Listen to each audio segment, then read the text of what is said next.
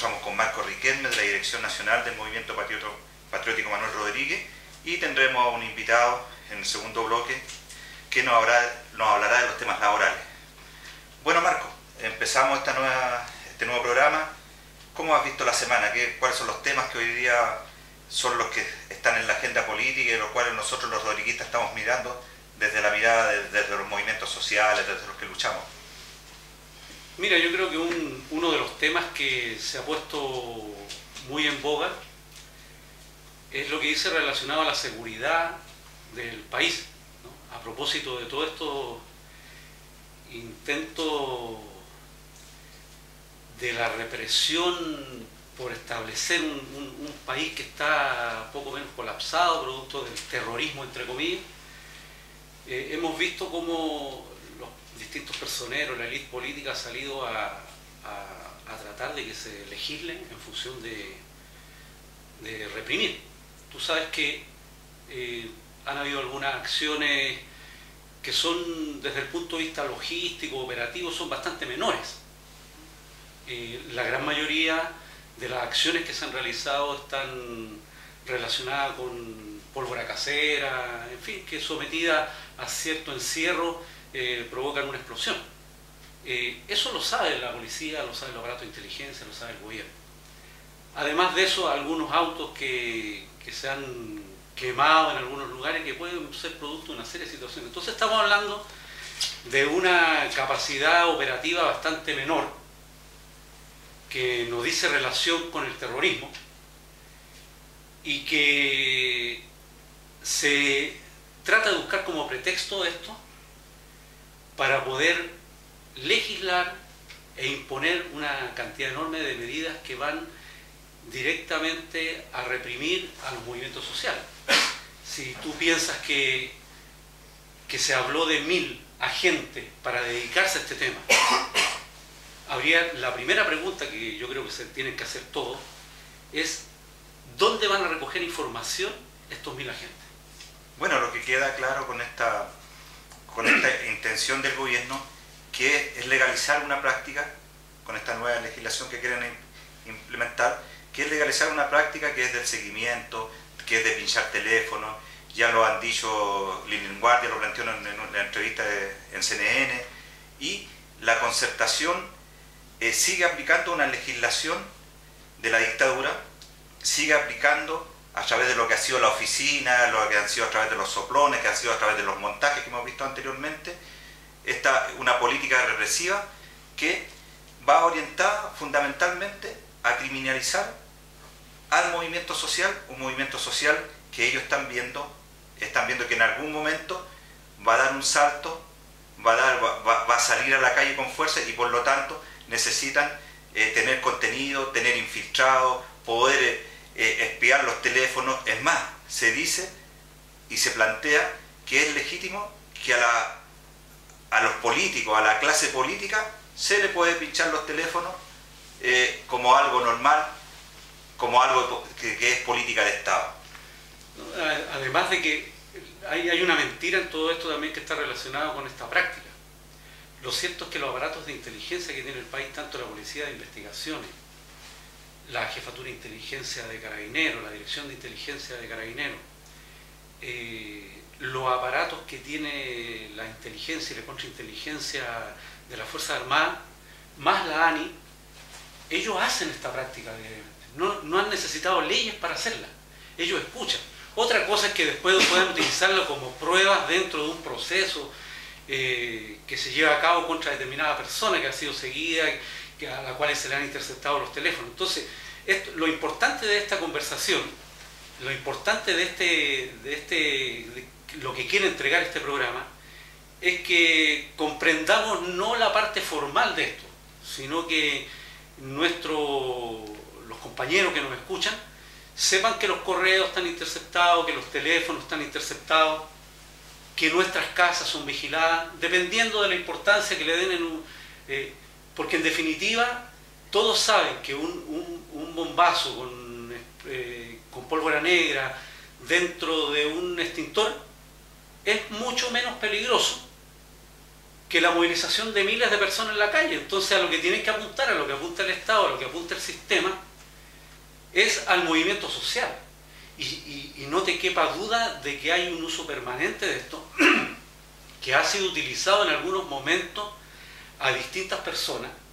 Eh, lo más probable es que eh, una nueva redacción de una ley antiterrorista, claro, hasta el momento ocupa la 18.314, que tiene que ver del año 1983, que se promulgó durante la dictadura militar y que permitía eh, una serie de, actos bárbaros en relación con los detenidos. O sea, acá hay una doctrina que se empieza a implementar de todas maneras, que dice relación con los derechos del enemigo.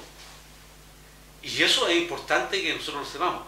Hay más agentes en estos momentos, hay agentes legalmente destinados por el ministerio, hay un tipo que está coordinando hoy eh, a Lewy, eh, que está coordinando todos los servicios de inteligencia policial y que la cantidad de recursos que van a haber ahora para penetrar al territorio mapuche, a las organizaciones mapuche, a las organizaciones políticas, sindicales, eh, es mucho mayor. Por lo tanto, hay, digamos, la alerta que, estamos dando nosotros, no en el sentido a seguir solamente eh, el, relato formal que, son el Mercurio, eh, la Tercera, algunos medios televisivos, sino que lo estamos diciendo a que vayan viendo lo que realmente ocurre. Y esto es una criminalización de la protesta social y de las organizaciones sociales, y para eso ahora han destinado a mil agentes.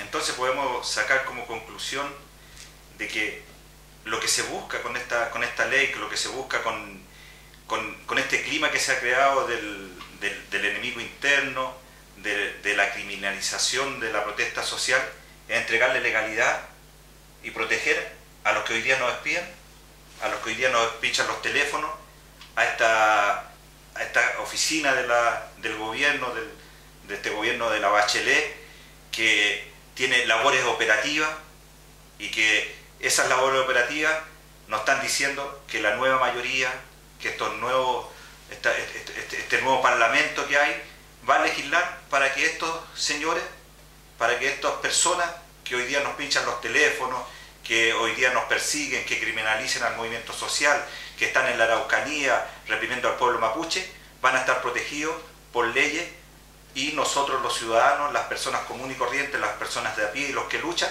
van a estar desprovistos porque ellos son el enemigo interno. Yo creo que la, la concertación y la nueva mayoría han heredado y han perfeccionado lo que es la política represiva de la dictadura y en este caso particular esto que es la ley antiterrorista que ha sido aplicada casi en todos los gobiernos de la concertación hoy día. Mira, y hay, un, elemento yo creo importante, Lucho, antes que, despidamos este tema. Eh, lo importante es que nuestra gente, nuestros hermanos, nuestros compañeros, la gente que, el, círculo social de izquierda, eh, sabe que tiene la herramienta para impedir esto. Y nosotros debemos señalarle a la gente, eh, a las organizaciones políticas, a las organizaciones sociales, de que deben denunciar esto. Y tenemos un montón de medios, están las redes sociales que nos ayudan a esto. O sea, nosotros verificamos que efectivamente hayan agentes que nos están eh, investigando, que nos están siguiendo, hay que sacarle fotos, hay que tratar de descubrir sus nombres, hay que tratar de escribir menos menos cosas que sean de, importancia para el enemigo, o sea, de necesidad de información para el enemigo en los correos, o sea, volver a algunos métodos y formas que nos permitan eh, contrarrestar esto, porque aquí no estamos hablando de la institucionalidad para hacer un país mejor, sino que la institucionalidad para impedir un país mejor, una institucionalidad de seguridad, una política de seguridad para impedir un país mejor. ¿Y a qué me refiero con esto?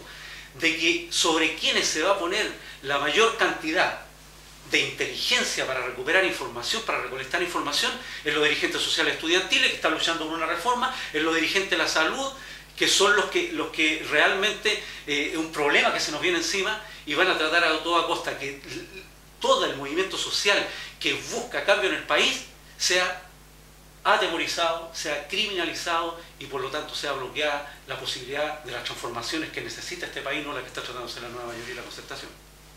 Bueno, estamos concluyendo con esta primera etapa de la conversación.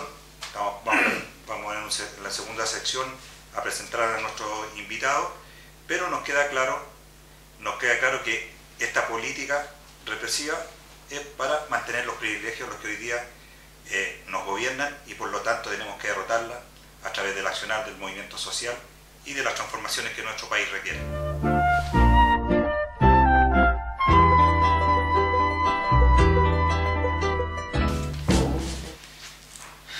Bueno, ya estamos con Florencio Pardo, abogado, académico, y vamos a hablar hoy día de los temas laborales, del código laboral, de la situación de los trabajadores en nuestro país y fundamentalmente lo que ha significado esto que ha planteado la nueva mayoría, que es el cuarto eje de su programa, que es un eje que se negoció con la CUT en base al sueldo mínimo y en el cual hipotecó la negociación colectiva, la negociación del sueldo mínimo eh, por tres años. Florencio. Gracias Luis, eh, un gusto grande poder estar aquí y compartir algunas apreciaciones ¿no? con respecto al tema laboral. Bueno, como bien dices tú, eh, había un cuarto eje en la agenda del gobierno, ¿no? y estas eran las reformas laborales, la, la, que venía eh, prometiendo ¿no? que iban a haber modificaciones sustanciales en cuanto a el derecho colectivo del trabajo. ¿no? Esto significa negociación colectiva, derecho a huelga y con respecto también a la libertad sindical, que es la trilogía de derechos que conforman efectivamente el derecho colectivo. Creo que eh, no se va a cumplir bajo este gobierno, la presión es muy fuerte, creo que lo que pasó en la negociación eh, del sueldo mínimo marca un precedente. ¿no? no es menor lo que ahí se pactó, puesto que el 50% de los trabajadores en Chile perciben menos de 250 mil pesos. Por ende, entiendo yo que la nueva mayoría o el gobierno actual tuvo la posibilidad de avanzar dando señales efectivamente a, la masa trabajadora de Chile de que efectivamente había un compromiso eh, por parte del gobierno con los trabajadores. Y efectivamente no se llegó a la cifra de 250 mil pesos. Y además, ¿no es cierto?, se tienen trampado eh, por tres años en una negociación colectiva prácticamente, eh, de hecho, ¿no?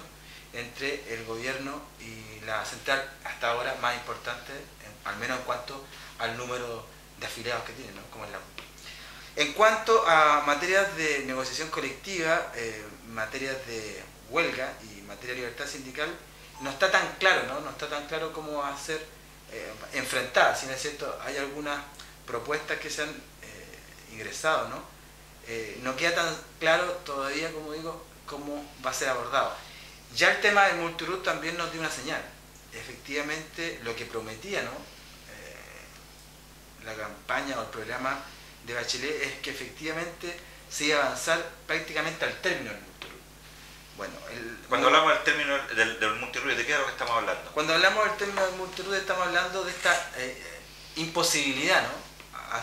para el empleador de dividir la empresa en varias personas jurídicas, en varios RUT, ¿ya?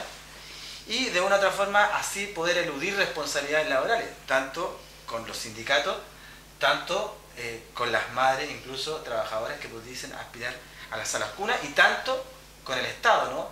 Hay que entender que hoy día la multa que se aplica a, las empresas por infracciones laborales también tiene relación con el quantum o con el número de trabajadores. Por ende, eh, dividiendo la empresa y achicándola, obviamente hay menor carga por parte del empleador que soportar en cuanto a multa, en cuanto a derechos laborales y en cuanto a derechos individuales de algunas trabajadoras, como puse el ejemplo de la protección de la maternidad en el caso de las mujeres trabajadoras. ¿Y la negociación? Claro, la negociación colectiva, efectivamente, si se divide el empleador en varias empresas, eh, como la negociación colectiva en Chile es solamente una negociación dentro de la empresa, dentro de la empresa, y para tener una negociación fuera de la empresa, es decir, una negociación interempresa o una negociación sectorial necesita la necesita el consentimiento del empleador, esto obviamente no va a suceder. ¿Cuántos, ¿Cuántos, trabajadores hay sindicalizados en el país? Bueno, las estadísticas de Chile eh, eh, establecen que solamente un número cercano a los 960.000 trabajadores en Chile se encuentran sindicalizados, ¿no? lo que representa cerca del 14% de la masa laboral. La masa laboral que podría estar sindicalizada en Chile eh, abarca un número cercano a los 6.600.000 trabajadores. Eso dentro del derecho comparado es bastante bajo, bastante bajo, ¿no? Y eso si lo vamos sumando a la cantidad de sindicatos que existen en Chile, que son cerca de 10.000, eh, nos viene a dar efectivamente eh, un, un, signo de que efectivamente la sindicalización en Chile es baja, que la negociación o, los, o los, trabajadores que pueden negociar en Chile es baja y efectivamente quienes realizan, si se puede llamar así, el derecho a huelga o que efectivamente realizan la huelga en Chile es aún menor. Solamente 200 eh, sindicatos, 200 sindicatos realizaron efectivamente la huelga el año 2013, lo que involucra un número muy muy bajo de trabajadores con este derecho a, huelga, si es que se puede llamar así. Hay que entender que el derecho a huelga en Chile es una especie de paro programado. ¿no? Eh, admite en Chile, como un país singular en el mundo, ¿no? el reemplazo de los trabajadores desde el inicio de la huelga. ¿no? Incluso, y desde el primer día, como digo e incluso permite el descuelgue de los trabajadores a partir del decimoquinto día. Cosas insólitas ¿no? en el derecho comparado o en otras legislaciones. La negociación colectiva como un dato, Lucho, solamente eh, la pueden realizar los, trabajadores del sector privado. Los trabajadores del sector público, los funcionarios públicos, no tienen derecho a negociación colectiva. Y además, ¿no? Hay personas, o perdón, hay trabajadores que se desarrollan en el ámbito privado que por tener contratos eh, de obra o servicio terminado están excluidos de negociar colectivamente. Trabajadores que tienen contrato de plazo fijo en el mundo privado, que también se encuentran excluidos de negociar colectivamente por el hecho de que no tienen fuero en una negociación colectiva.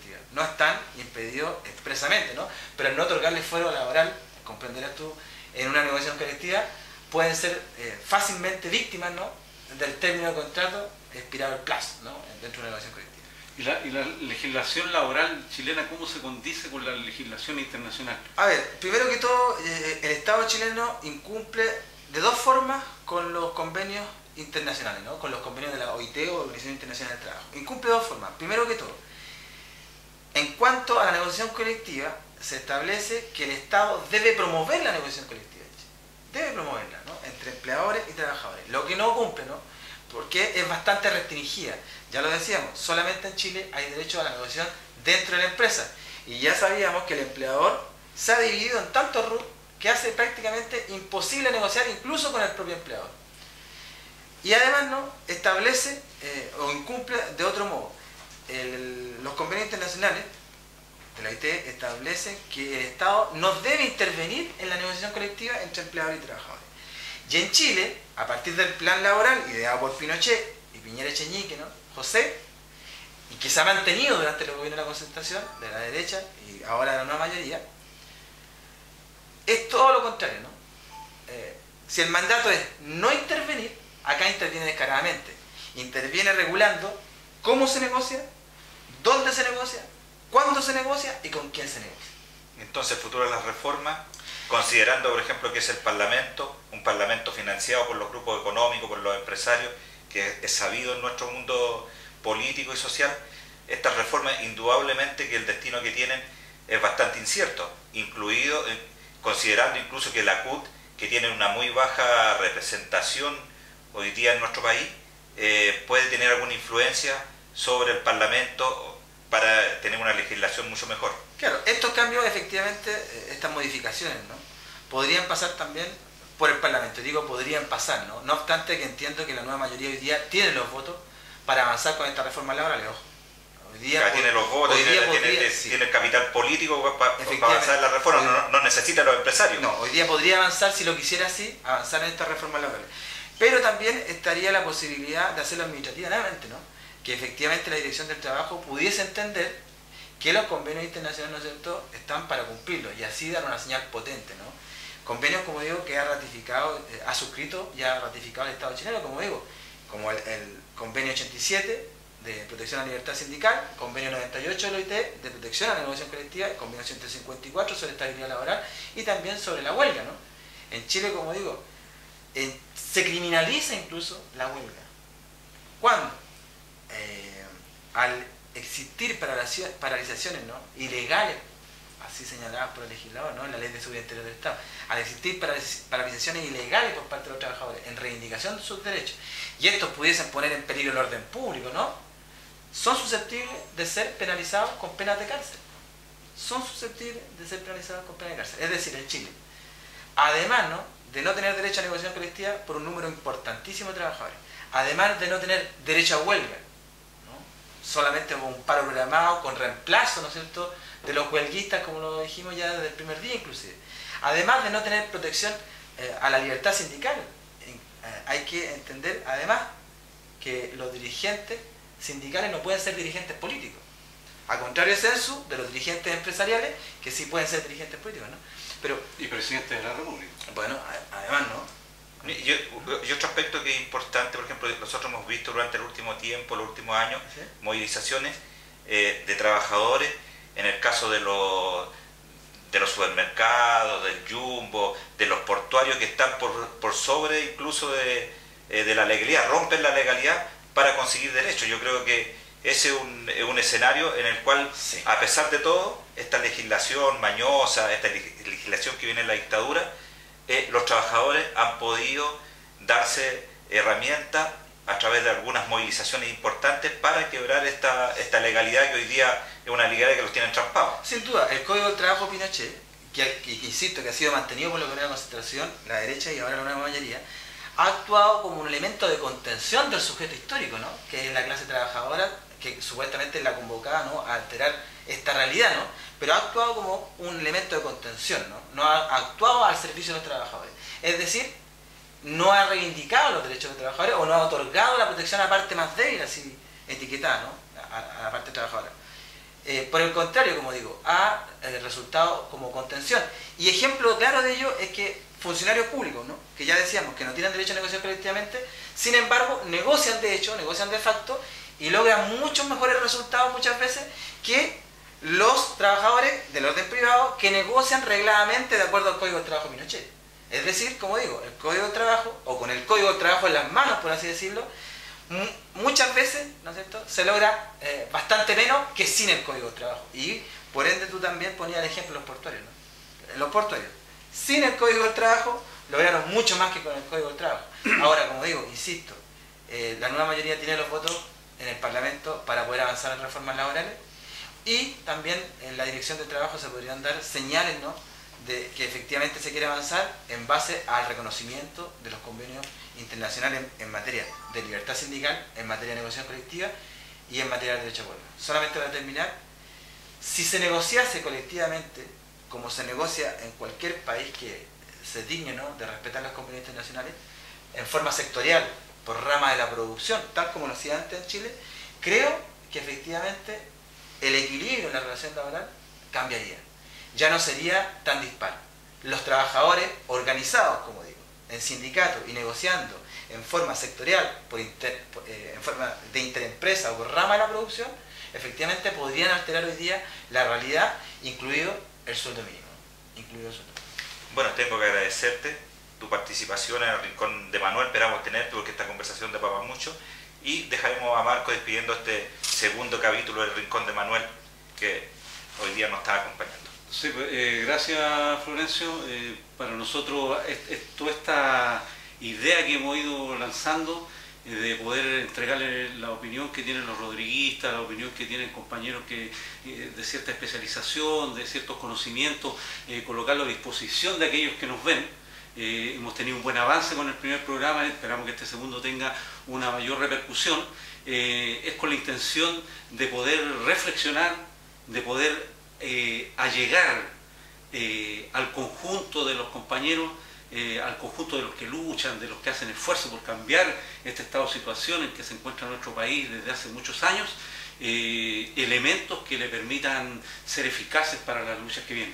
Así que en el tercer programa vamos a tener otro compañero, vamos a tener más compañeros que estén entregando eh, cosas del, trabajo cotidiano, de la lucha, de los esfuerzos que se hacen día a día por cambiar las cosas en este país. Vamos vamos a ir adosándole más elementos que permitan recordar la historia también nuestra, eh, no queremos que nuestra identidad sea marginada, discriminada y por lo tanto nosotros buscaremos nuestra herramienta. Y el Rincón de Manuel es una herramienta más en la lucha de tantos que lo hacen hoy día eh, sus mejores esfuerzos por cambiar la situación del país. Así que hasta el tercer programa.